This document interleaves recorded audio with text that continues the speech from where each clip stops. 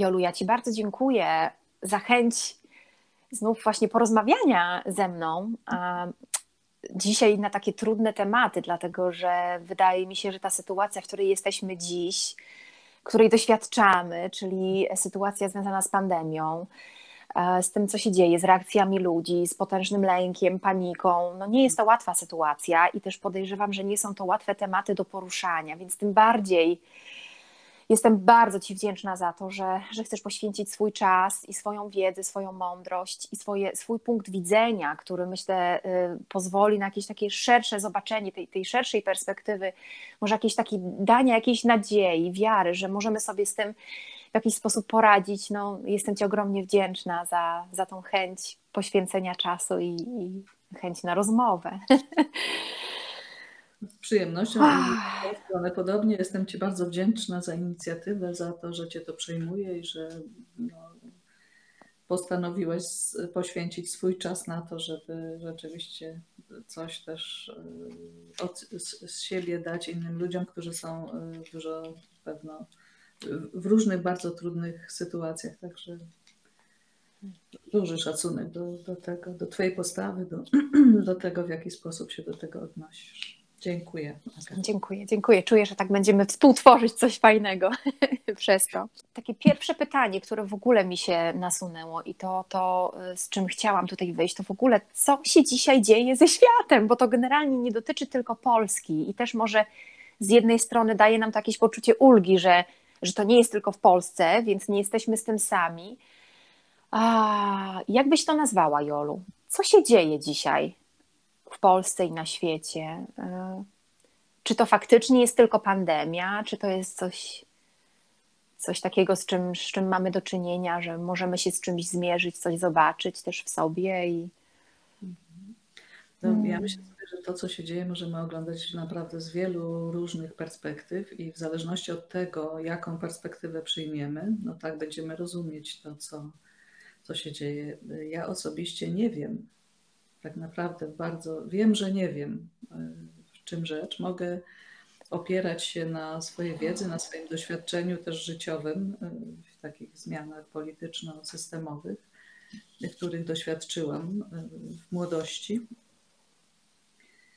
no i na tym, co ewentualnie uda mi się, czego uda mi się dowiedzieć, ale też ze świadomością, że informacje, które do nas docierają, są w tej chwili bardzo, bardzo filtrowane i celowane, jeśli chodzi o media. To już myślę, że jest taka wiedza, która, którą każdy człowiek, który jest jakoś zainteresowany źródłami informacji, które do nas docierają, posiada. Y, czyli marketingiem, czyli tym, że władza tak naprawdę jest w, w, rękach y, osób, które mają y, dostęp do kreowania informacji czy do podawania informacji. Więc mogę powiedzieć tak, że, że ta pandemia, która jest odbierana czy przeżywana jako zagrożenie życia, już w samym e, słowie pandemia e, i w definicji pandemii przez, podanej przez WHO, czy zmienionej jakiś czas temu przez e, tę organizację, pandemią nazywa się chorobę, która jest mocno zaraźliwa. Nie jest śmiertelna. Tam nie ma takiego zapisu. W związku z tym, na bazie tej definicji mamy pandemię, bo jest zaraźliwa to, że większość ludzi przeżywa, nosi w sobie e, wirusa, tak? czy jest możliwość, że mamy po przetestowaniu e, okaże się, że jesteśmy, e, że, że mamy w sobie te, tego wirusa, nie musimy chorować. I w tym sensie środki, patrząc na realia, takie no, z, z, mojej obserwacji, mhm. nie z mediów, za, za i w tym sensie środki, które są podjęte do tego, żeby walczyć z tym, co y, y, nazywamy, czy nazywa się pandemią, są kompletnie nieadekwatne.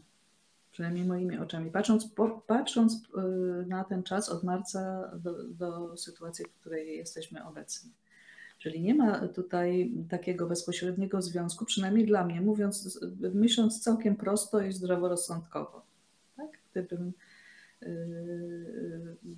myślę sobie, że jeżeli ludzie nie umierają masowo na taki rodzaj infekcji, to znaczy, że restrykcje, które eliminują wszystkie takie podstawowe funkcje życiowe, są nieadekwatne do zagrożenia, realnie rzecz biorąc. Przynajmniej na ten moment. Nie wiem, co będzie dalej i tak dalej, bo nie, nie, nie śledzę, nie znam się na tym.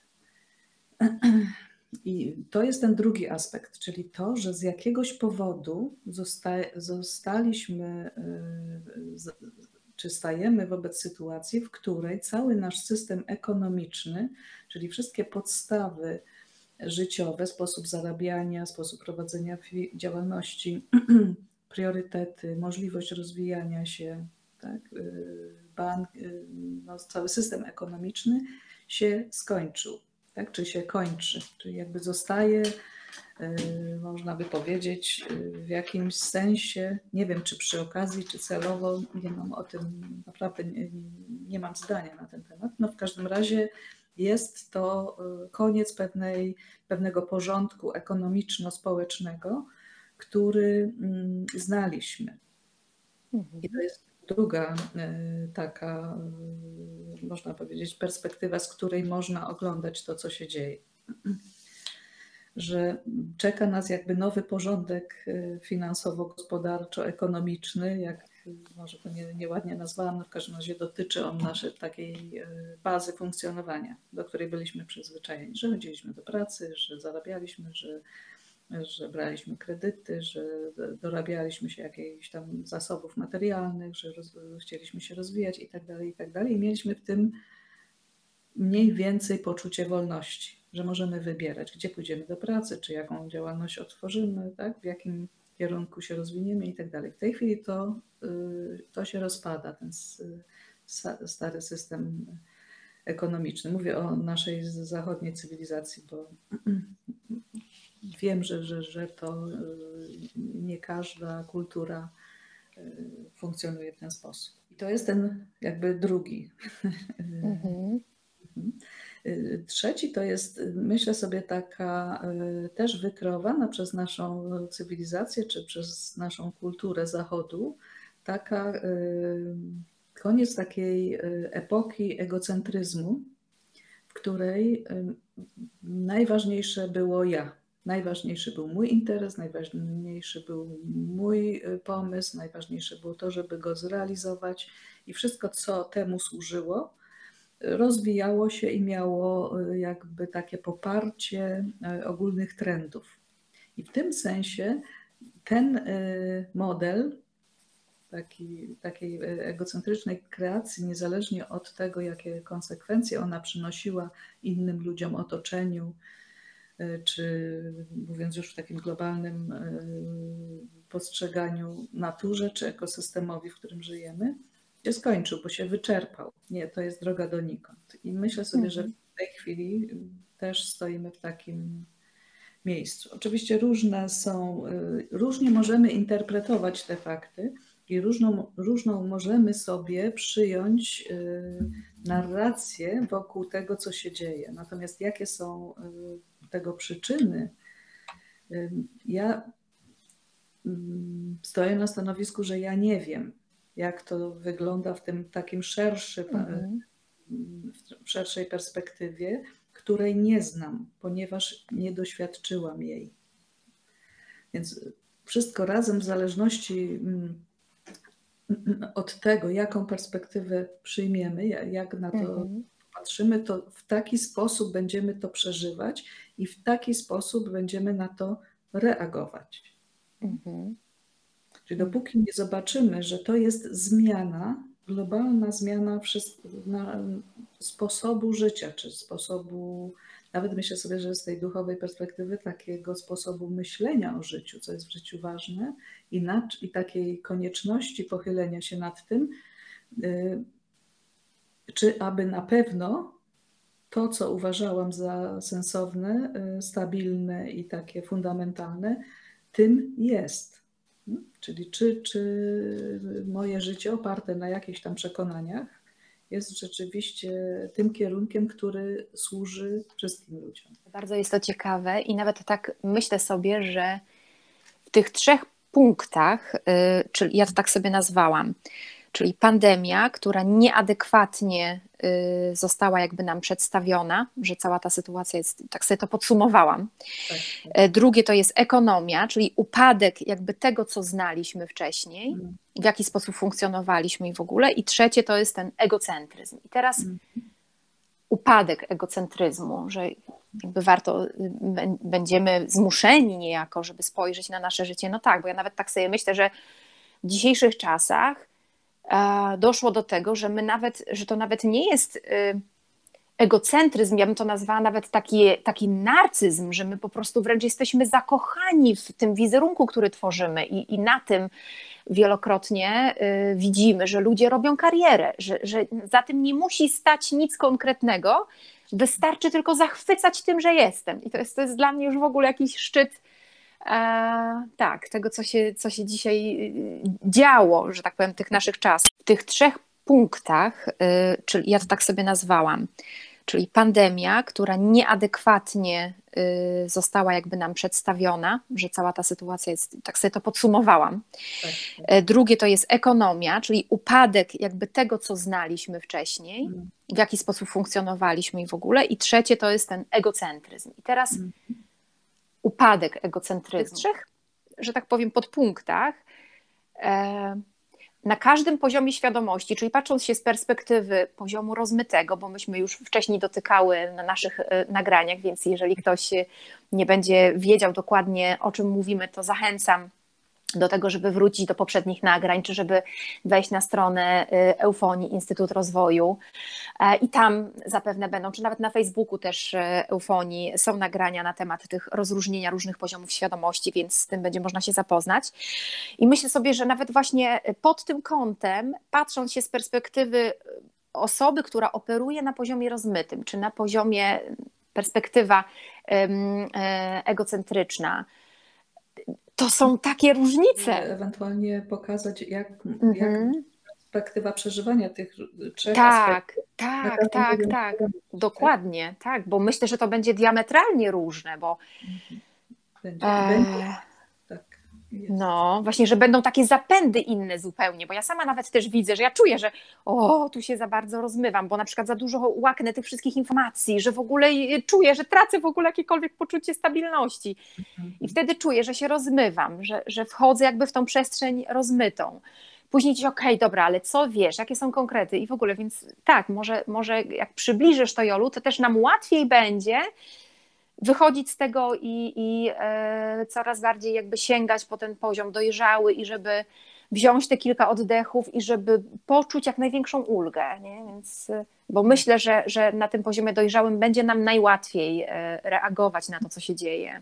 Tak, tak. Będziemy mm -hmm. najbardziej stabilni, czy będziemy tak. umieli sięgać do stabilności, bo to też -hmm. takiej ilości bodźców myślę, że może być e, niekoniecznie zawsze możliwe. Mhm. Ja y, może na początek powiem tak, że jakiś czas temu zorientowałam się y, przy okazji oczywiście tematu pandemii, który y, no, jest głównym tematem w tej chwili wszystkich kontaktów, również towarzyskich, tak? Mhm. Jest, zorientowałam się, że w moim, że są ludzie, którzy myślą tak samo jak ja. Mhm. I rozumieją tak samo jak ja. Czyli w taki sposób, w którym tak naprawdę jest dla, to, co dla mnie oczywiste w takiej percepcji i potem sposobie interpretowania, y, że jest grupa ludzi, czy są, są takie osoby, które y, tak myślą. I zobaczyłam, że to, że tak jest, to też jest jakiś mój automatyzm. Mhm. I udział w czymś, co jest dostępne wielu ludziom. I mhm. myślę, że y, y, to, ten automatyzm, to przywiązanie do przekonań, to przywiązanie do sposobu interpretacji faktów jest związane wprost z, z poziomem świadomości i zawsze jest ograniczone. Czyli trochę tak, jakbyśmy byli w polu, y, w którym jest dostępna, w którym jest dostępne sięganie do pewnej informacji, I to pole y, generuje sposób myślenia i sposób reagowania.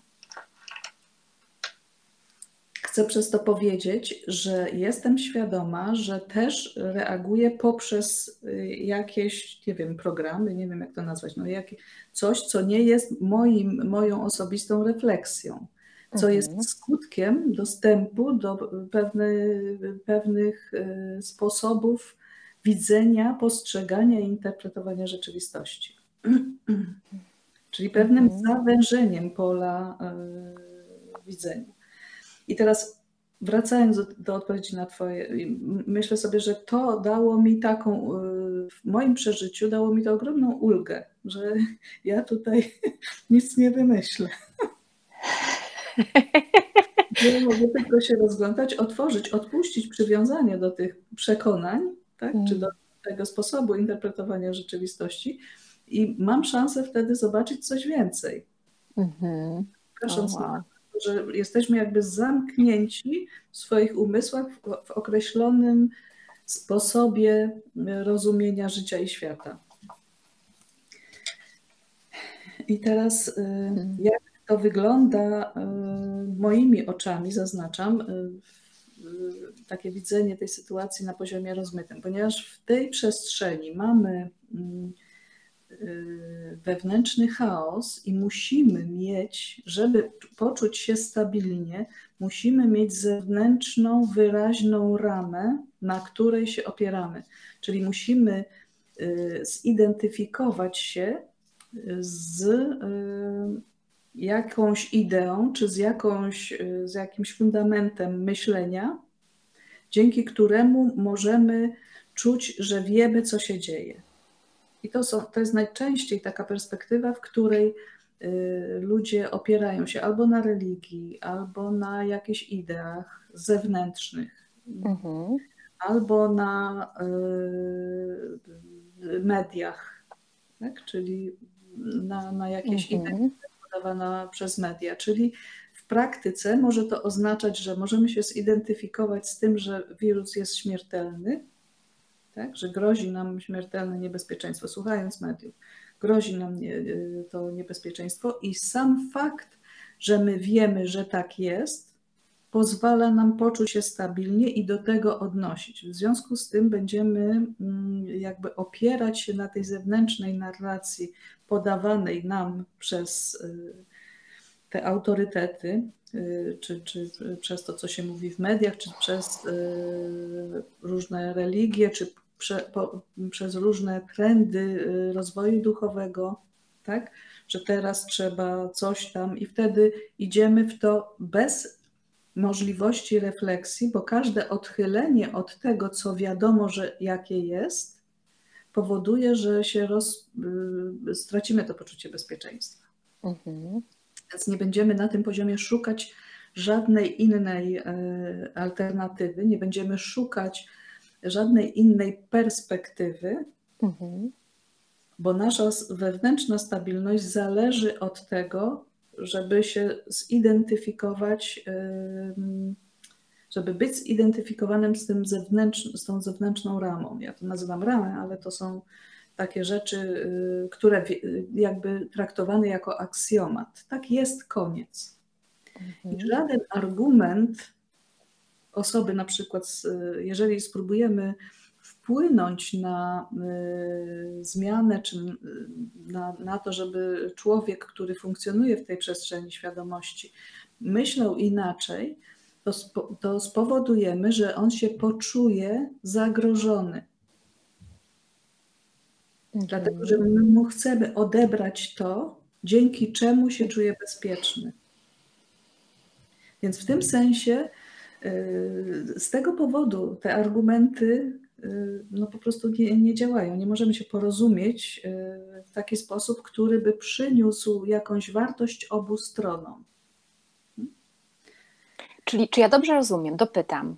Tak. Czyli na przykład, jeżeli ktoś cały czas ogląda jakiś jeden kanał telewizyjny, nie będę tam mówić jaki, bo to nie ma znaczenia, ogląda jakiś kanał telewizyjny i ufa tym informacjom, które są tam podawane. I to jest dla tej osoby tym właśnie yy,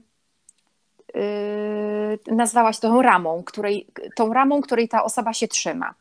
A jeżeli przychodzi ktoś, kto ogląda na przykład media e, wolnościowe, które mhm. podają diametralnie inną informację, mówi też, że są dowody naukowe na to, na to, na to, na to, co mhm. jest przeciwległe temu, co ta osoba oglądała to w tym momencie nie możemy się porozumieć, bo dla tej osoby, która ogląda media tradycyjne, ta cała rama się rozpadnie i ona jest w takim lęku, jakby boi się tego, że nie będzie miała czego się złapać, że nie jest w stanie tego usłyszeć. Tak? Dobrze to zrozumiałam? Co będzie ja... mówiła ta osoba, która słucha innych mediów na przykład, nie? Ja myślę sobie, że w ogóle takie przywiązanie jednostronne, jednoznaczne i takie zakładające oczywistość mojego punktu odniesienia, -hmm. jedynie boczną tak, perspektywę. Mm -hmm, bardziej jest sztywne, niezależnie od tego, do jakich mediów jesteśmy przywiązani. Tak. Niezależnie od tego, do jakiej religii czy do jakiej opcji ideologicznej, nie jest to ważne. Im bardziej sztywne przywiązanie, tym bardziej rozmyta przestrzeń świadomości. Okay. Czyli to przywiązanie do zewnętrznych y, oczywistości, takich stabilizujących, wobec których możemy się wówczas jakoś odnieść, bo jeżeli wirus mi zagraża bezpośrednio moją śmiercią albo zarażę wszystkich, y, którzy się ze mną spotkają, tak, to wówczas mi, mi to pozwala się zachowywać w taki sposób, że ja się czuję bezpiecznie, bo wiem, co mam robić. Nie będę okay. wychodzić z domu, nie będę się z nikim spotykać, nie będę chodzić na spacer i tak dalej, i tak dalej. Czyli okay. ten Y, tak, ale to jest to, ta identyfikacja z zewnętrzną ramą. Charakterystyczne jest to, że osoby, jeżeli spróbujesz podać jakieś inne argumenty, mhm. To, to spowoduje, że ta osoba poczuje się zagrożona i może stać mhm. się agresywna w obronie mhm. swojego, swojego poczucia stabilności, a nie przeciwko tobie. Mhm. Ona się może zwrócić w efekcie przeciwko tobie, jeżeli ty nie będziesz rozumiała, y, że to jest dla takiej osoby no, baza tak, poczucia mhm. To mam pytanie wobec tego, jeżeli już jesteśmy tu przy tym przypadku, y, co wówczas zrobić? Czy mamy możliwość w jakiś sposób wpłynąć na tą osobę, żeby ona zobaczyła też inne perspektywy? Bo ja rozumiem, że e, No właśnie, dlaczego chcemy wpływać? O Jezu, zawsze się z Tobą, Jolu, złapię na tym, że tak, bo moja perspektywa jest lepsza. A, ja myślę sobie, chyba mam to... odpowiedź. To jest trochę tak, jak w mojej młodości mm. były różne radioodbiorniki i miały różny mm -hmm. odbioru częstotliwości. Mm. I myślę sobie, że troszkę jesteśmy e, takimi odbiornikami informacji, -hmm. czy, czy bodźców, ze wszechświata, z życia, z tego, co nazywamy życiem. I jeżeli mamy zakres odbioru y, wąski, to, to naprawdę jako ludzie, tak to widzę, patrząc y, poprzez pryzmat mojego doświadczenia, to jest możliwe, jeżeli przez dłuższy czas będziemy w atmosferze, która ma troszkę inny zasięg i troszkę zaczniemy też rezonować dzięki temu na inne bodźce niż tylko te, te sztywne. Czyli na tym, mówiąc prosto czy tak bezpośrednio, jeżeli osoba rozmyta będzie miała kontakt e, z osobą, która ma wewnętrzny spokój, dostęp do tego wewnętrznego spokoju, mhm. to z czasem to przywiązanie do tej zewnętrznej ramy troszeczkę się rozluźni. Ale nie jest to kwestia e, mhm. przekonywania czy argumentowania, no pokazywania, tak. bo wtedy y, taki komunikat jest traktowany jako zagrażający. To tak jakbyś chciała tę ramę zabrać i ta osoba zostaje z niczym. Jest zdezorientowana, przerażona. Mhm. Nie, nie umie się y, oprócz tej ramy jakby ustabilizować wewnętrznie. Tak? Mhm, mhm. Okej. Okay. Czyli jedyne, co możemy takiej osobie zaoferować, to obecność. Po prostu obecność. Ja się też tak pomyślałam, że jeżeli ja mam w sobie ten spokój, to mogę po prostu emanować tym spokojem i w pewnym sensie wpłynąć tak pozytywnie. Mhm. I wtedy, w zależności od potencjału tej osoby, ona może troszeczkę rozluźniając się, dopuścić y, percepcję pewnych y, y, bodźców, czy informacji, czy, czy wglądów, czy refleksji, ale tylko jak się rozluźni, jak się poczuje też bezpiecznie i że może to zrobić. I y, trzeba szanować to, że to, czy to zrobi i na ile, zależy od jej możliwości że to nie jest coś, co można, yy, że tak powiem, wtłoczyć komuś mhm. swojego pomysłu. Okej. Okay. A perspektywa egocentryczna? Perspektywa egocentryczna jest perspektywą, która tak naprawdę daje człowiekowi najbardziej, yy, najwięcej stabilności i mhm. takiego komfortu. Dlatego, że na, w perspektywie egocentryzmu jesteśmy przekonani, że mamy rację i że wiemy. Wtedy chcemy przekonywać innych. No i jedyną, to znaczy zaletami tej przestrzeni jest to, że mhm. rzeczywiście się czujemy stabilnie ze sobą, mhm. ponieważ mhm. mamy rację, mamy wiedzę, Nasz sposób myślenia jest oczywiście fundamentalnie prawidłowy. Mówię o, swoich, o przekonaniach tej przestrzeni. Wiemy, jak ludzie powinni się zachowywać, wiemy, co trzeba zrobić, żeby było lepiej.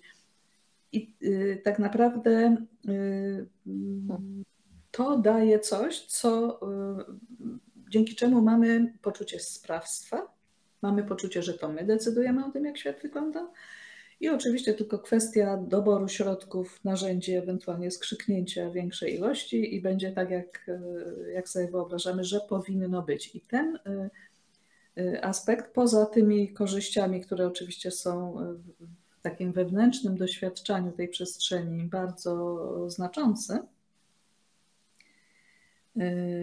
wadą tego jest to, że my nie widzimy innych ludzi nie jesteśmy w stanie zobaczyć, że mają różne mhm. potencjały. E, nawet jeżeli widzimy to intelektualnie konstatując pewne fakty, czy rozumiejąc, czy widząc, no, obserwując, bo to się dzieje na poziomie egocentrycznym oczywiście, to i mhm. tak w naszym przeżyciu istnieje przekonanie, że my możemy pozmieniać tych ludzi.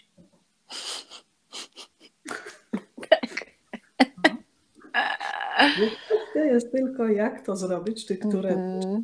poszukiwania y, sposobów, a nie weryfikowania własnej y, postawy, czyli y, to oparcie na sobie, na swoich potrzebach, na swoich przekonaniach, na swojej wiedzy, na swoich poglądach i tak dalej. One mogą się zmieniać, one mogą się weryfikować na skutek uczenia się, zdobywania wiedzy i tak dalej. Natomiast sam fundament traktowania życia Y, będzie zawsze taki sam. Czyli widzimy tylko własną perspektywę i uznajemy ją za jedynie słuszną. Mhm. Myślę sobie, że ten y, czas protestów, y, czas, nie wiem, buntu, czas pomysłów, że tutaj należy zrobić inny porządek niż był do tej pory. Oczywiście w, w tle ja wiem, jaki porządek trzeba zrobić. Mhm bez y, refleksji takiej szerszej, że przyglądając się dziejom naszej cywilizacji, to jest y, kręcenie się w kółko. Tak? Czyli y, zdobywanie władzy, ustalenie jakiegoś porządku, potem nadużycia, potem przekraczanie granic, ludzie się mhm. zaczynają buntować i rewolucja. Rewolucja w sensie oni są źli, tak? Ja jestem ta dobra i w związku z tym będę e, wprowadzać swój porządek, ponieważ na egocentrycznym poziomie nie jestem w stanie zobaczyć, że ten mój porządek jest identyczny jak ten, tylko troszeczkę w innym miejscu rozwijania się. Teraz mi przyszło tak do głowy, że właściwie patrząc w ten sposób, właśnie tak jak tutaj wspominałaś, Jolu, to tak naprawdę, jeśli patrząc się pod kątem mm, takim politycznym, tak? że na przykład system demokratyczny, yy, socjalistyczny, taki, siaki i owaki, że to wszystko w ogóle jest do bani. Nie, to jest wszystko to samo. Tak, że to jest wszystko, to wszystko prowadzi i tak i tak w, w, ostatecznie, dlatego mówię, to wszystko jest do bani, no bo to i tak i tak prowadzi do jednego rezultatu, prawda? Że jakby to jest, ze złego punktu w ogóle wychodzimy. Z egocentryzmu zawsze mhm. tak widzimy. Tak. Mogę się oprzeć na swoim doświadczeniu, ponieważ 40 lat temu yy, byłam na pierwszym roku studiów, kiedy zaczęły się strajki. Mhm. I, I w konsekwencji zmiana systemu socjalistycznego na demokratyczny. Mhm. Mogę powiedzieć, że jak, za, jak zobaczyłam e, te ruchy czy, czy zjawiska, które się wokół, które się dzieją w tej chwili wokół e, walki z władzą, czy przeciwko władzy, czy e, w imię wolności, mogę powiedzieć wszystko to samo tylko dekoracja się zmieniła, czyli można powiedzieć, że są inne tematy, inne y, treści tych protestów, mhm. ale sedno jest takie samo. Czyli tak naprawdę można powiedzieć, że przez te 40 lat nic się nie zmieniło. Znowu powtórzyliśmy egocentryczny plan, że my wiemy, jak powinno być, i teraz to, y, te y, egocentryczne plany wprowadzamy w życie i one zawsze prowadzą do tego, że stają się włas, swoim własnym przeciwieństwem. Każda rewolucja, która w historii powstawała, patrząc z perspektywy y, jakości życia człowieka, takiego prostego człowieka, czyli kogoś, kto się nie, nie zajmuje e, polityką czy, czy szeroką gospodarką, y, sprowadza się do tego samego. Patrząc tej poprzez ten pryzmat egocentryzmu możemy powiedzieć, że pomimo tego, że czujemy, że jest to racja, że czujemy, że wiemy, co jest właściwe, a co nie,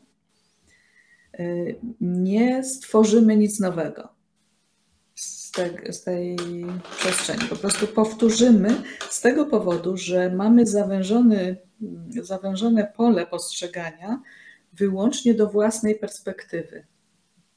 I pomimo tego, że intelektualnie wiemy, y, że bywają inne poglądy, inne światopoglądy, inne y, porządki, być może coś więcej, to w naszym przeżyciu nam, nas to nie zakłóca. Mhm. I charakterystyczną cechą tej, y, tej, tej, przestrzeni jest to, że my widzimy wroga, czy przyczynę tego złego, co się dzieje, na zewnątrz. Zawsze ulokujemy przyczynę naszego niedostatku, naszego, naszej frustracji, naszego y, złego, tak, tych złych okoliczności, które nam towarzyszą, obwinimy o to y, świat zewnętrzny, niezależnie od tego, czy to jest konkretna osoba, czy to jest grupa osób, czy to jest y, frakcja polityczna, to nie ma znaczenia, ponieważ w egocentryzmie zawsze przyczyna leży przyczyna tego złego leży na zewnątrz, i w związku z tym, jeżeli przyczyna leży na zewnątrz, to ja będę zmieniać przyczynę, czyli świat. Czyli wyrzucę jednych polityków i sama zajmę miejsce, bo wiem, jak powinno być.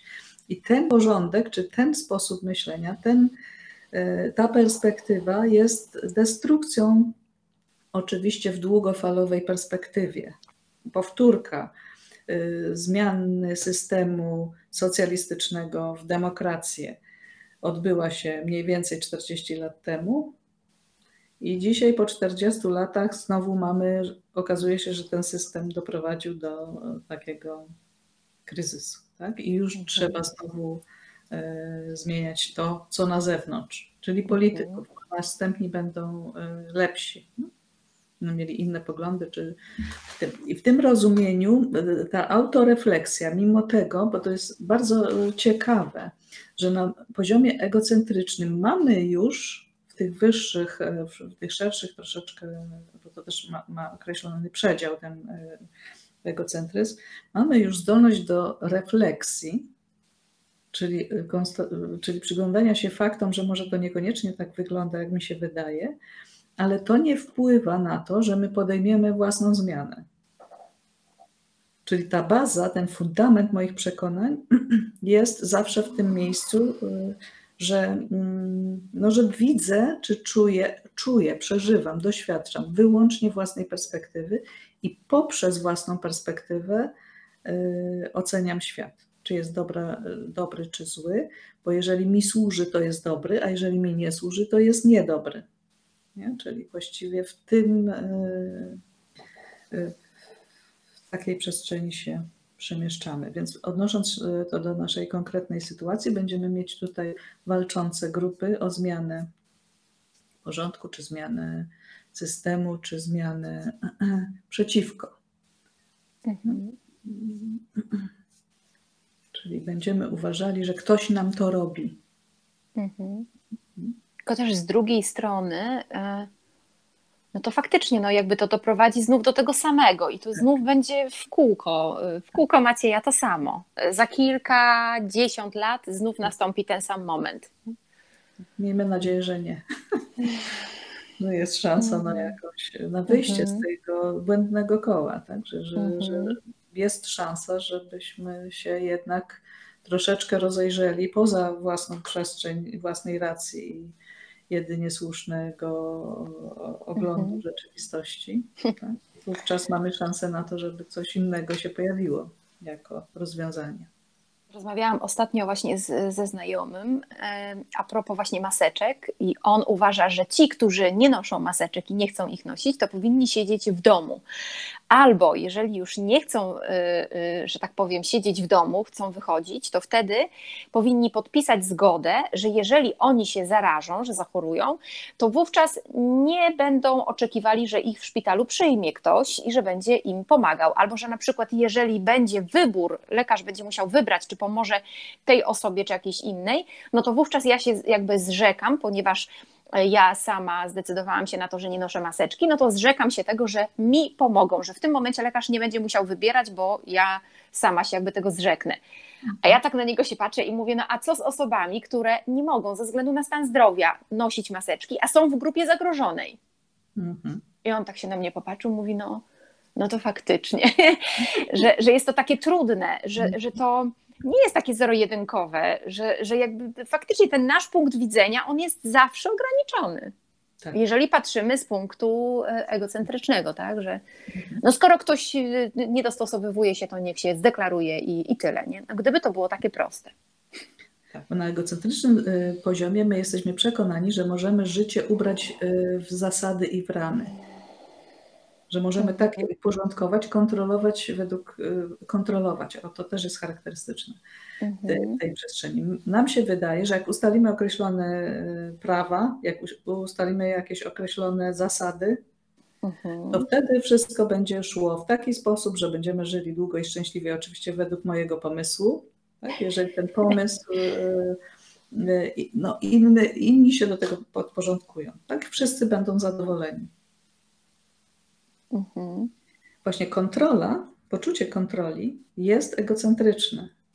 Znaczy ono w takim sensie to jest baza poczucia bezpieczeństwa, że ja mam złudzenie, że ja mhm. ustalając jakąś zasadę kontroluję rzeczywistość. Mhm. Mamy y, zresztą dowód w tej chwili na to, że nikt ni, niczego nie kontroluje. Mhm. No tak. Przynajmniej tak to wygląda w szerszej perspektywie. Okej, okay. a jeśli chodzi o perspektywę już z takiego dojrzałego poziomu? Więc perspektywa dojrzałego poziomu również jest ograniczona, tyle że ma troszeczkę mhm. jakby więcej. Na dojrzałym poziomie wiemy, przede wszystkim staramy się zdobyć wiedzę i zrozumieć, co się dzieje, nie ze względu na własne przekonanie, że wiemy, jak powinno być, mhm tylko na to, żeby się zorientować, y, jak wygląda, w miarę możliwości oczywiście, jak wygląda rzeczywistość, żeby móc na nią elastycznie reagować. Czyli wiemy, że w określonej sytuacji trzeba, używając swojego przykładu, przykładu, założyć maseczkę, jeżeli mamy do czynienia z kimś, kto jest, tak, kto się boi, plus y, jest narażony, no to y, jest to, to też nie jest reguła bo możemy po prostu decydować na bieżąco w reagowaniu na to, co jest, y, co uznamy, czy co poczujemy, że jest właściwe. I to nie chodzi o to, czy się podporządkujemy przepisom, które w tej chwili weszły w życie, tak, że, że jest taki obowiązek, To nie chodzi o bunt. Na egocentrycznym poziomie będziemy się buntować przeciwko tym przepisom, bo wiemy, jakie powinny być. No na tym poziomie, wiedząc, że nie mamy wpływu na te przepisy, przynajmniej w takim bezpośrednim sensie, w bieżącym życiu, tak?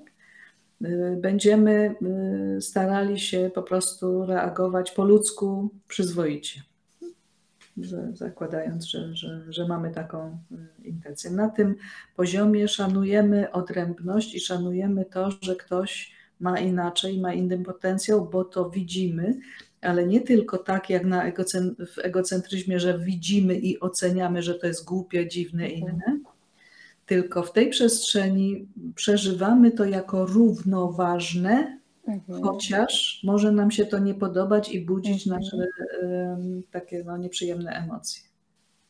Ale ten szacunek y, zostaje. Nie? Czyli dla na, na dojrzałym poziomie mamy sporo elastyczności, jesteśmy bardziej czujni, bardziej skłonni do tego, żeby poznawać rzeczywistość i przez to reagować w zgodzie z tym, co jesteśmy w stanie zrozumieć i Y, jakby wyrobić sobie jakiś, jakiś pogląd na ten temat, nie wykluczając żadnej z perspektyw. I mając świadomość, czyli można powiedzieć, że w tej dojrzałej perspektywie już w takim tym e, bliżej y, poza egocentryzmu, czyli po, poza ego, czy już tej duchowej, wiemy, że to też jest, że nasze myślenie jest ograniczone. Wiemy, że są aspekty, których my nie doświadczamy czy nie widzimy, ponieważ nie mamy wiedzy na ten temat, a nasze myślenie też jest ograniczone. Mhm. Ale ta elastyczność, tak, szukamy rozwiązania, które może być, szukamy innych punktów odniesienia. O, to jest charakterystyczne dla poziomu dojrzałego, że my chcemy zrozumieć to nie tylko przez własny filtr, ale też chcemy zobaczyć inne perspektywy, czyli jesteśmy ciekawi, czy ta ciekawość, ta potrzeba poznawania, potrzeba y, jakby y, widzenia czy rozumienia szerzej niż tylko nam to y, jest dane w tej oczywistości, w której żyliśmy, jest takim priorytetowym motorem do, do zmiany. To mam takie pytanie, ponieważ czuję, że to we mnie jest takie, bo, bo nawet tutaj mówiłaś, Jolu, że, że gdzieś widzę tą inną e, stronę, że tak powiem, że ktoś ma inaczej. Mhm. E, jakby przyjmuję to, że szanuję to, że ta osoba tak. Podam może taki przykład życia, to może będzie łatwiej. Mhm. Że na przykład mm, widzę, że ktoś się boi, ma lęk, zakłada maseczkę Mm, mm. Ja na przykład tej maseczki nie mogę nosić. E, ta osoba na mnie naskakuje.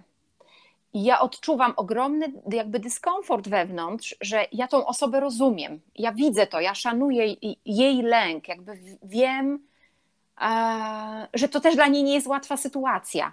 Widzę mm. to, dlatego staram się nie wchodzić w konflikt. Mhm. Aczkolwiek z drugiej strony, właśnie jak na to spojrzeć tak, żeby nie poczuć takiego ograniczenia mojej wolności, że ja w tym momencie będę musiała poświęcić siebie e, gdzieś i założyć, założyć tą maseczkę, nie wiem, zakryć tą twarz i nos, y, usta i nos, żeby, mhm. żeby ta osoba, nie, żeby ją uszanować z jej lękiem. Jakoś trudno mi jest to, może dlatego, że gdzieś jeszcze z poziomu egocentrycznego na to patrzę, że, że oczekuję, że ta osoba też powinna mnie zrozumieć. Jakby chciałabym, może nie oczekuję, ale chciałabym też być zauważona z moją, z moim ograniczeniem i z moją wadą, ale niestety z tym się nie spotykam.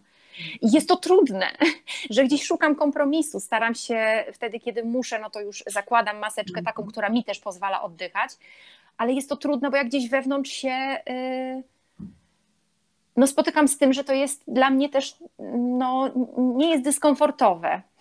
nie wiem, jak to wyrazić nawet. No, myślę sobie, że no, właśnie ten poziom dojrzały jest mhm. perspektywą, która nie jest miła bardzo często. Mhm. Dlatego, że tutaj wiemy, że ta, to, co w egocentrycznej przestrzeni wydaje nam się oczywiste, że powinno być sprawiedliwie, więc jeżeli ja decyduję się na jakiś rodzaj kompromisu, to oczekuję tego samego z drugiej strony. Mhm. to i tej sprawiedliwości, i tej równości, poszanowania zasad i, i tak dalej, i tak dalej. To w dojrzałej perspektywie wiemy, że, że tego nie będzie. Nie, nie, nie jest możliwe. I to jest y, poziom, y, to jest też taka przestrzeń doświadczenia pokory. Mhm.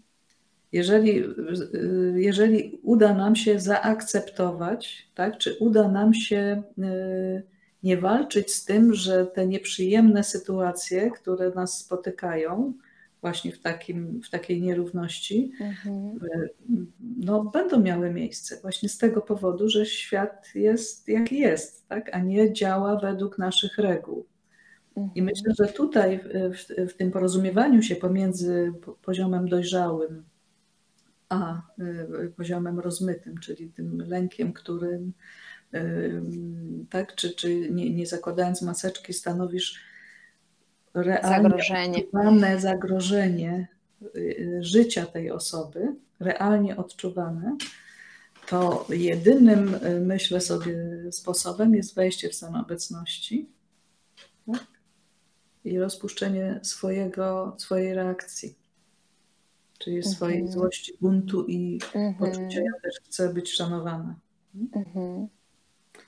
Inaczej się tego nie da y, jakby przekroczyć. Nie? Czyli mhm. można powiedzieć, że tutaj y, z tego dojrzałego y, poziomu świadomości, jeżeli mamy narzędzia i wytrenujemy sobie y, zdolność do wchodzenia do, we współodczucie i w taki stan obecności, który rzeczywiście, jeżeli mamy do tego dostęp, co oczywiście nie jest takie powszechne, to ta sytuacja najprawdopodobniej się rozpłynie właśnie w tym momencie, kiedy sobie na to pozwolimy. Tyle, że jest to no, już umiejętność, no nie każdy ma do niej dostęp, bo wymaga treningu. Mhm. Ale nie da rady na poziomie dojrzałym nie zareagować emocjami na taką niesprawiedliwość. Mhm. I siłą rzeczy, jeżeli zostaniemy zaatakowani przez osobę, która się boi, to, si- to czy chcemy, czy nie, doświadczymy nieprzyjemnych uczuć, złości, mhm. nie wiem, y, no, takiej negacji i tak dalej, że to jest też reakcja, można powiedzieć, z poziomu, reakcja emocjonalna z poziomu biologii. Ktoś narusza naszą przestrzeń.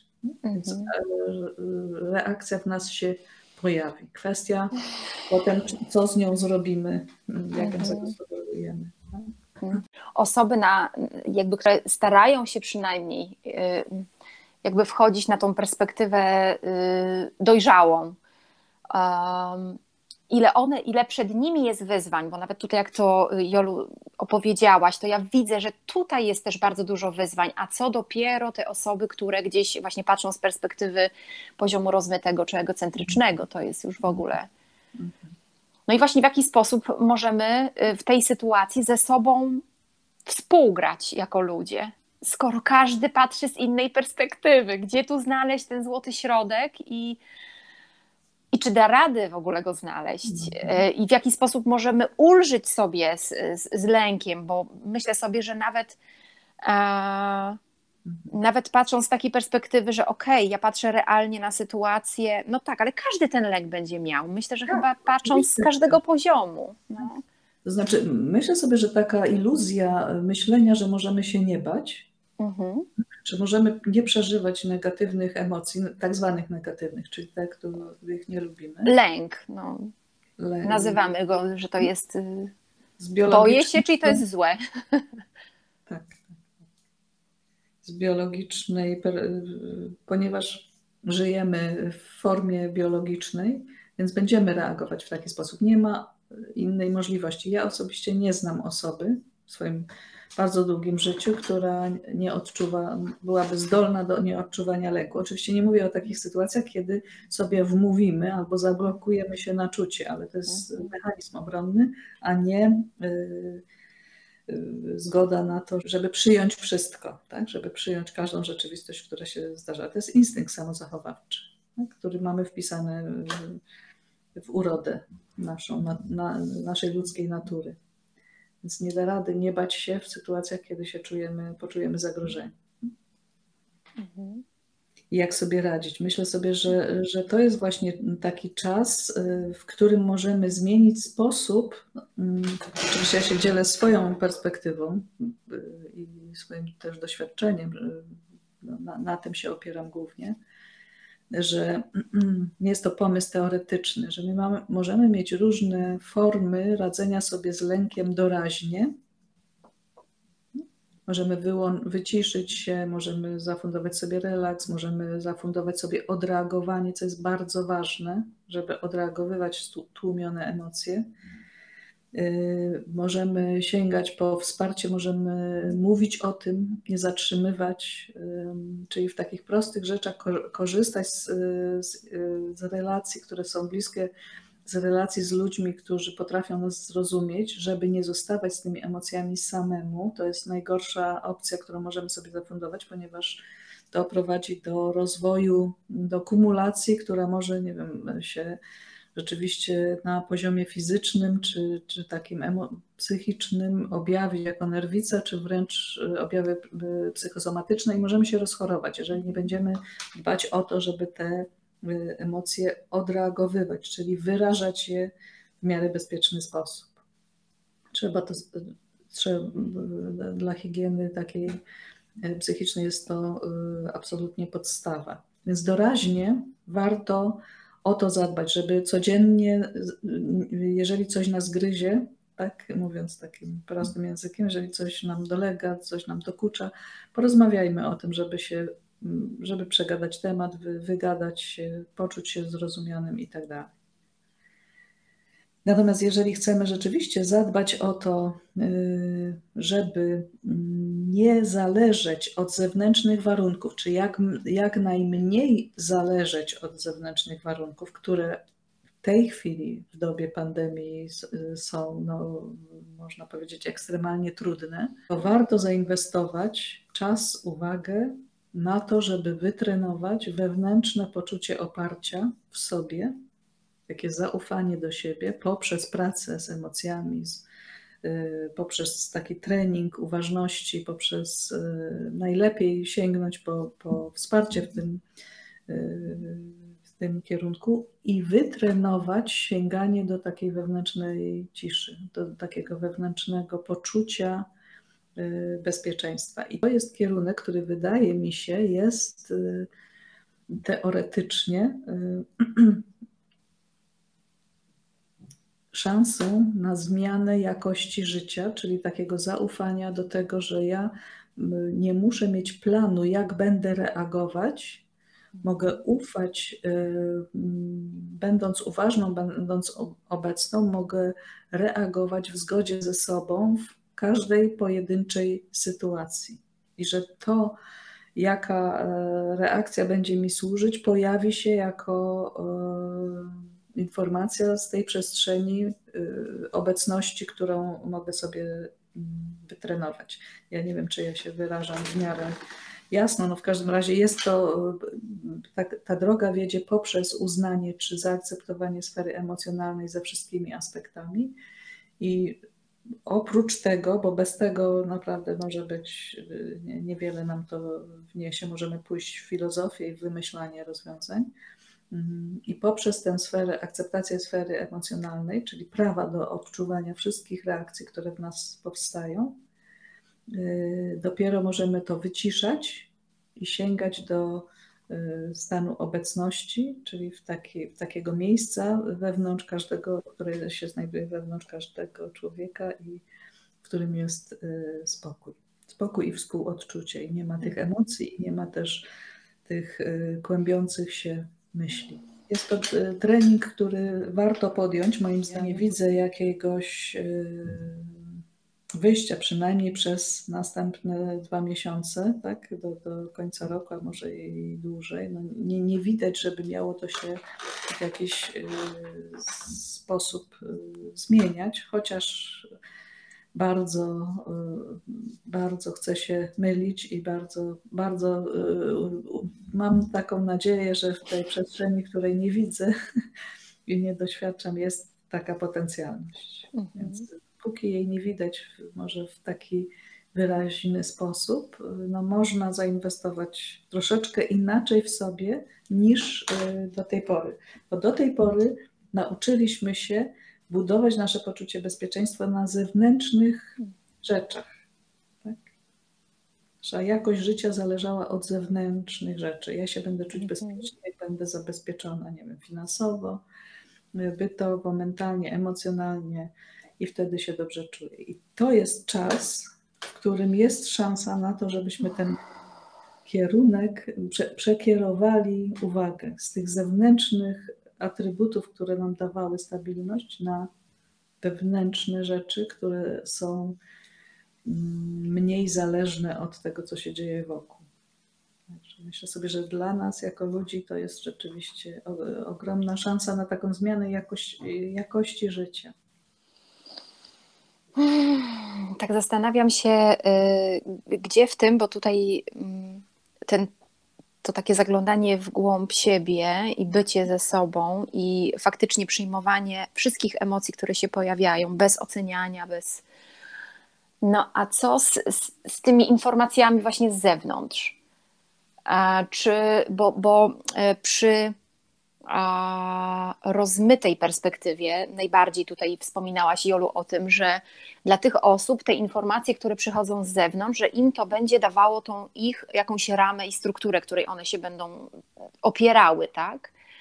Czy w momencie, kiedy one ograniczą w ogóle dostęp do tych informacji, czy jakby przestaną śledzić cały czas na okrągło, co się dzieje, jak to wygląda i w ogóle, czy czy to czasem nie spowoduje u nich, że właśnie ich ta struktura zacznie się lekko rozpadać?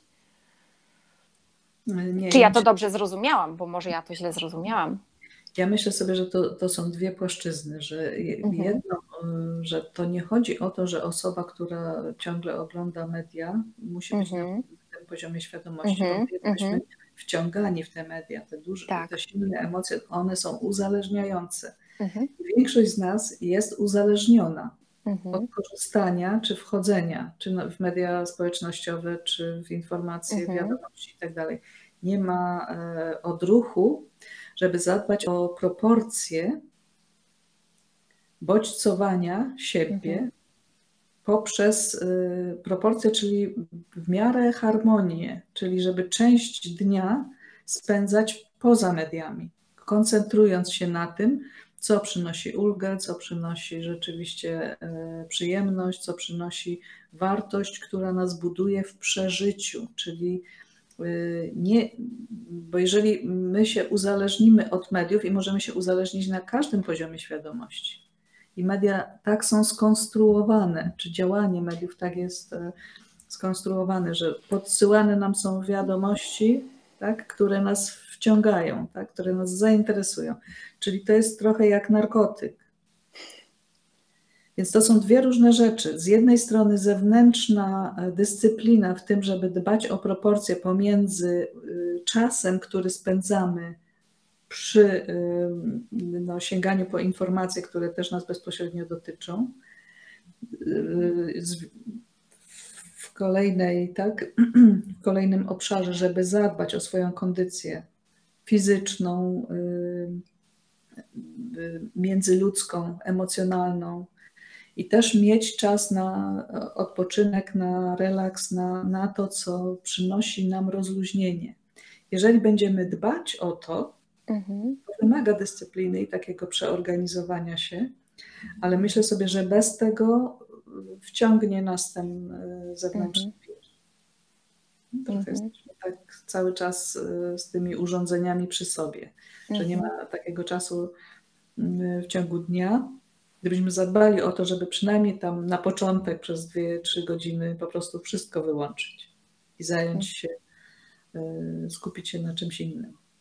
Mhm. Mamy dużą szansę, że to nie będzie nas bodźcowało i to Myślę sobie, że jeżeli osoba w rozmytej przestrzeni y, głównie y, czas y, spędza, czy żyje, przeżywa to, żeby oglądać media i to, te straszne wiadomości, które tam są, tam są właściwie wyłącznie straszne wiadomości. Nie ma tam żadnych kojących czy uspokajających treści. Nie mówię o takich oficjalnych, nie, nie mam telewizji, ale myślę, że, że tak to wygląda. Więc to spowoduje, czy wszystko to spowoduje, że osoba kompletnie się roz, będzie jeszcze bardziej się bała, tak? I jeszcze mocniej trzymała tej zewnętrznej ramy, która ją stabilizuje. Więc mhm. będzie bardziej agresywna. Mhm. Tak? Stanie się siłą rzeczy obronnie y, bardziej agresywna. I ta, przepraszam, i ta agresja może y, w pomyśle być y, walką o to, żeby eliminować to, to zagrożenie. I to jest niebezpieczny proceder. Dlatego myślę sobie, że ta wprowadzenie jakiejś takiej no, tak jak powiedziałam, troszkę dyscyp- samodyscypliny tutaj w, ty, w tej materii, żeby dbać o zdrowie, o równowagę, o to, żeby w ciągu dnia nie przeżywać tylko tych emocji, czy tej ekscytacji, mm, sięgania do jakichś wiadomości, które się wiążą z aktualną sytuacją. To jest trudne, bo też wszystko się zmienia, ale mhm. myślę, że, mhm. że jest tutaj szansa na to, żeby o siebie mhm. zadbać. Tak, ale ja sama wiem po sobie, że w momencie, kiedy ograniczam e, generalnie oglądanie jakichkolwiek mediów, bo telewizji też nie oglądam, ale jakichś innych też mediów i wertowania Facebooka i mediów społecznościowych, no to zdecydowanie odczuwam większy spokój. Jakąś większą harmonię. W ogóle e, jakby czuję się, jakbym była w zupełnie innej rzeczywistości w pewnym mhm. sensie. Nie? To jest, to jest ogromna ulga. No tak, bo jestem. ulga niesamowita. To, to sama wiem, że miałam taki moment, że, że znów się wciągnęłam, bo przy pierwszej fali miałam też taki moment, że się wciągnęłam w jakieś tam teorie, Teraz znów się wciągnęłam w jakieś tam inne takie naukowe y, rozpatrywanie, a jak maseczki, a czy trzeba je nosić, czy nie, czy to jest zdrowe, czy niezdrowe i po prostu non-stop y, kolor, cały czas coś. I zobaczyłam, że to tak czy siak, y, czy to są naukowe wiadomości, to, to tego jest za dużo. No, takie przebodźcowanie i to jest, człowiek jest taki rozedrgany, że to, to w ogóle nie sprzyja można powiedzieć, że nawet jest zatruty tym, negatyw, tym negatywizmem. No nie? Taki. Tak, tak. Moja prywatna hipoteza na, na temat y, y, tego, co się dzieje, jest taka, że my gdzieś tam y, naprawdę u podstaw, my sami stworzyliśmy sobie tę sytuację. Czyli mhm. skupianie się na tym, co złe, niedobre, jakby gdyby założyć taką hipotezę, że współtworzymy cały czas jakość energii, która nam towarzyszy, mhm. Co jest faktem odczuwalnym, jeżeli jesteśmy bardzo uważni i pozwolimy sobie na to, żeby rzeczywiście doświadczać tego, co generujemy i co przez nas przepływa.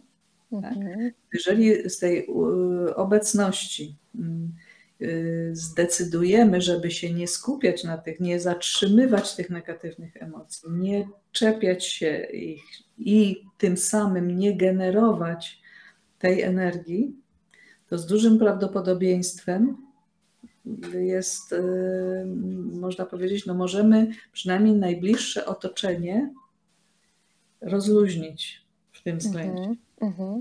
Więc jeżeli y, nawykowo, bezrefleksyjnie skupiamy się na tym, co straszne, mówimy o tym, co straszne, tak? krytykujemy, tworzymy tę energię napięcia, to energetycznie można powiedzieć, że zasilamy ten, y, to, co się potem materializuje jako fakty na zewnątrz. To jest oczywiście moja teoretyczna hipoteza, nic, nic więcej.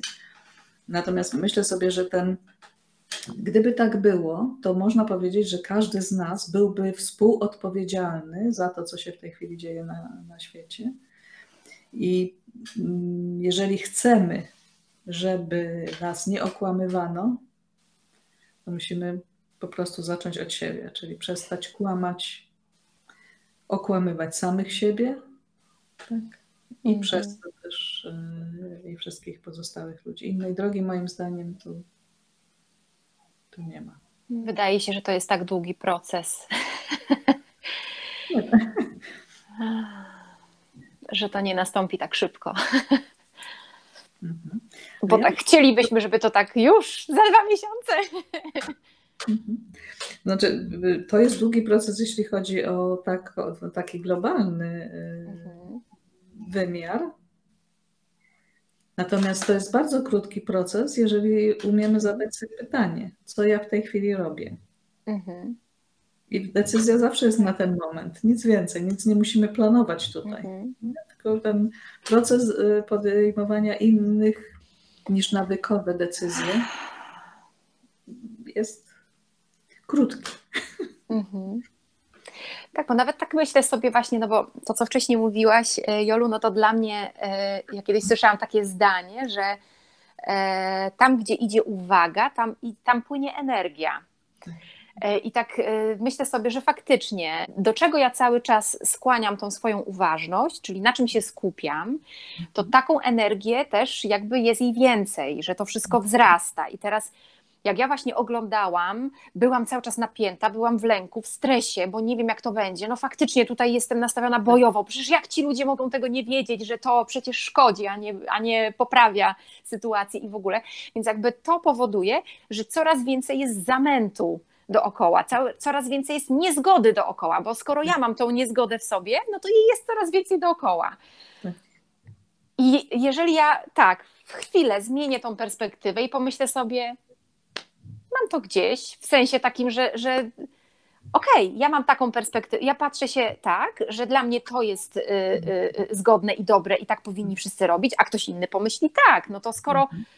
Y, jeżeli ja poddam swoją rację, że okej, okay, to ja nie muszę mieć racji, czyli mam to gdzieś, tą moją rację, nie jest ona dla mnie już ważna, widzę, że to w ogóle do niczego nie prowadzi, jest to bez sensu, poddaję się, tak, kapitulacja, to całkowicie jak to wszystko się rozpłynie, no to ja zaczynam czuć się wolna, szczęśliwa. I zobacz, i to. Te... Czy to jest Jolu, jakby już to podejście takie już pozaegocentryczne, czy nie? Czy to nie jest pozaegocentryczne? Mhm. Jeżeli by z tego miejsca, z tego punktu patrzeć na wszystko dookoła. Nie jest to łatwe, ale tak sobie zakładam, że, nie, to jest poziom dojrzały, bo poza, ego, poza egocentryzmie nie ma już uczuć. Nie ma. A, okay. rejestrowanie tego, co się dzieje, tak? czy co, co ma miejsce, faktów. A natomiast ten mm. dojrzały poziom no jest y, piękny, bo dopiero tutaj możemy mhm. zobaczyć, czy doświadczyć właściwie mhm. tego, że wolność, y, jeżeli mamy wewnętrzny, wewnętrzne poczucie wolności, a mając dostęp do zaufania do siebie mamy, to poczucie, to nikt nam tej wolności nie, no nie zabierze. W egocentryzmie y, lokujemy, y, mówiłam o tym przed chwilką, y, mhm. wszystko na zewnątrz, czyli zależni jesteśmy od tego, jak świat na nas reaguje. Czyli jeżeli świat jest opresją, akurat w tym czasie, mhm. no to my się czujemy, że ktoś nam tą wolność zabiera. Mhm. Tak? Czyli lokujemy, czy jesteśmy wolni na, na zewnątrz, a nie wewnątrz. I niezależnie, bo te zewnętrzne warunki, no nie mamy wpływu na to, że w tej chwili tak to wszystko się toczy. Wygląda na to, że pomimo protestów, pomimo różnych ruchów, pomimo tego, że coraz więcej ludzi gdzieś pod, poddaje wątpliwość sensowność e, czy adekwatność metod walczenia z wirusem, to dalej wszystko się dzieje. Także wygląda na to, że jakbyśmy mogli, jeżeli na, y, można powiedzieć, jeżeli egocentrycznie walczymy z tym, to zasilamy to, że to się dzieje. To jest tak jak z wojną. No nie? Jeżeli, żeby była wojna, muszą być dwie strony. Jeżeli jedna i y, tego nie podejmie, no to nie ma wojny. Co nie znaczy, żeby nie reagować na przemoc czy na inwazję, na zagarnięcie. No, to jest oczywiście nie, też po, znowu pomysł intelektualny. Nie chodzi o to, żeby wstrzymać reakcję, ale żeby rzeczywiście y, no, ufać temu, co się pojawia, a nie mieć zasadę, czy lokować, że ja będę szczęśliwa, jeżeli będą takie i takie y, warunki zewnętrzne, bo życie nam pokazało, że to nie jest nieprawda. Mhm. Że w tych zewnętrznych e, rzeczywiście wygodach, e, komforcie, luksusach z każdej strony naprawdę poziom szczęścia był niewysoki. Mhm. Bo tak myślę, że nawet jeżeli, e, ja bym próbowała faktycznie jakby patrzeć z tej perspektywy, że to, że, że okej, okay, to ja już tutaj na to nie zwracam uwagi, to już jakby jestem ponad to i w ogóle, ale przecież czuję, że tam nie wszystko zżera od środka. Właśnie to też o to chodzi, że to można teoretycznie powiedzieć, że ja mogę, mogę się, że tak powiem, wyluzować i, i już sobie wejść. Mhm że tak powiem, w ten fajny stan takiego akceptowania i przyjmowania wszystkiego, ale emocją, tak, jeżeli chcę żyć w prawdzie, to muszę spojrzeć na to, że przecież pojawiają się te emocje we mnie. I dopóki one się pojawiają, ja je przyjmuję, reaguję, widzę, e, doświadczam ich, czuję je na 100%. Dopóki tego nie przetrawię przez siebie, to nie dojdę do tego miejsca, bo to nie. tylko z mhm. doświadczeniem się pojawia, prawda? Tak, tak myślę, że przyjdzie moment, że ja poczuję, po prostu poczuję, że tam już nie ma tej reakcji, tak. że ona już jest niepotrzebna. Tak. To no, nic, tylko czekać, znaczy czekać. No też y, w trakcie będzie działanie, bo to, to mhm. samo tak nie przyjdzie i nie pojawi się. To najpierw trzeba przejść przez te wszystkie reakcje tak. emocjonalne, przez złość, przez y, to, że czuję tą niesprawiedliwość. Tak Mhm. Znakomita refleksja i myślę sobie, że to jest sedno sprawy, że poziom świadomości to nie jest to, co my myślimy intelektualnie, czyli przyjęta koncepcja, z którą się identyfikujemy, mhm. tylko to jest stan ducha. Czyli stan naszego przeżywania, stan naszego doświadczenia. Mhm. Czyli sposób, w jaki traktujemy swoje emocje, uczucia i mm, to, na ile je akceptujemy i umiemy się z nimi życzliwie obchodzić ale tak myślę sobie, że to musi być takie cudowne, jak właśnie dzieje się coś i tam już nic nie haczy, w sensie, że już się nic nie pojawia. To jest dla mnie, tak myślę, gra warta świeczki. Mm. Ja bym chciała zaznaczyć, że to jest mm. możliwe czasami. Mm-hmm. Że, mm, Czyli na dłuższą metę. Na stałe to jest niemożliwe. No. Mm-hmm. Przypomina mi się taka znakomita opowieść y, Antonego de Mello, y, mhm. który opisywał taką historię, nie pamiętam w tej chwili szczegółów, natomiast y, chodziło o to, że jeden z mnichów czy mistrzów w trakcie trzęsienia ziemi, po mhm. trzęsieniu ziemi powiedział do uczniów, no zobaczcie jaki ja miałem wewnętrzny spokój, że byłem, potrafiłem spokojnie y, wypić y, szklankę wody. Na co jeden z uczniów mówi, ale to był sos sojowy. Więc pomysł, sam pomysł, że my możemy się nie bać, albo sobie wmawiać, mhm. no nie? Że, że możemy żyć bez reakcji emocjonalnych w takim bieżącym życiu, w tym, co nas spotyka też y, z zewnątrz, zwłaszcza w takich ekstremalnych sytuacjach, no jest tak, y, przepraszam, że takiego słowa uznam, jest takim absurdem, że ilekroć to słyszę, to naprawdę jest mi dużo pracy wkładam w to, żeby się, y, no, że tak powiem, na tym nie, nie zaczepiać. Nie jest mhm. to możliwe. Momentami tak, jeżeli się skupimy na ten moment, tu i teraz i wejdziemy w przestrzeń poza egocentryzmu, w obecność, to tak. I w tym momencie, y, można powiedzieć, wszystko się rozpuszcza. Ale zaraz potem wychodzimy na ulicę, ktoś nam zwróci uwagę, ze złości odreaguje swoje emocje i nie da rady, żebyśmy ten. Mhm. Żeby nas to nie dotknęło. To jest, y, myślę, że niebezpieczeństwo takiego pomysłu.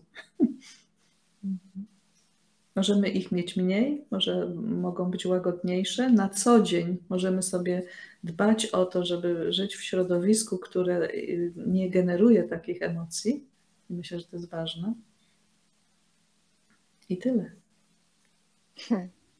Czyli tak naprawdę ciągła, ciągła yy, może nie praca, tylko taka uważność. Tak, tak. Yy, takie czuwanie, włączone czuwanie co się tam dzieje, okej, okay, no to tak, no to jest taka reakcja, okej. Okay. I właśnie dlatego oh. bardzo ważne jest, żeby się zewnętrznie wyizolować, przynajmniej na część dnia od tych bodźców, bo w przeciwnym razie to nas po prostu uruchomi albo i może nam zaszkodzić w, w trzymaniu równowagi. Czyli Jolu też tego lęku jest dlatego tak dużo, dlatego że my się tak do niego przyklejamy cały czas i się go trzymamy i po prostu cały czas pompujemy to i wszystkie kontakty, wszystkie rozmowy dzisiaj się tylko i wyłącznie kręcą wokół pandemii. I to jest przyczyna, dlaczego też tego lęku jest tak dużo cały czas. Tak, dokładnie tak. To jest samo napędzająca się machina. Mhm. Matko. I jeszcze, jeżeli sobie pomyślimy, że to się dzieje globalnie, nie tylko w Polsce, to jest ogrom.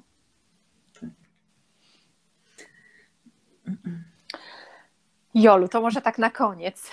Czy masz nadzieję, że my z tego wyjdziemy, z tego poziomu lęku takiego globalnego? Czy jest szansa?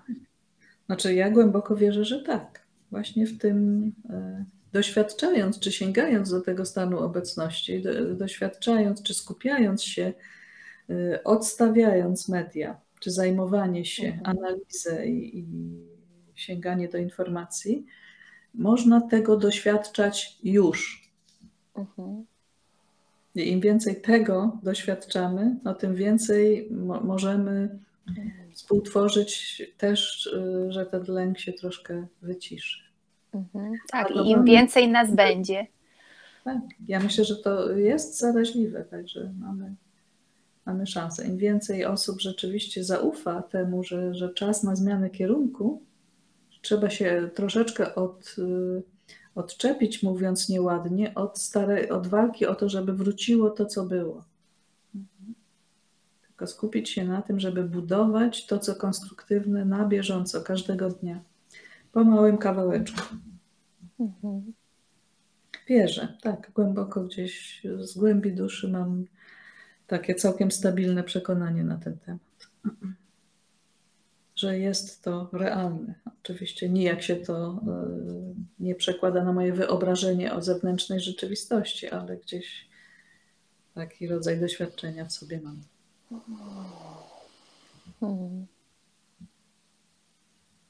No, czuję taki wewnętrzny spokój teraz, jest mi dobrze.